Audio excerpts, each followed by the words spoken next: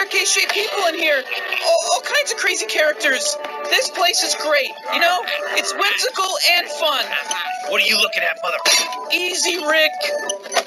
Pay them no mind. Those stair goblins can be moody. What can I get you?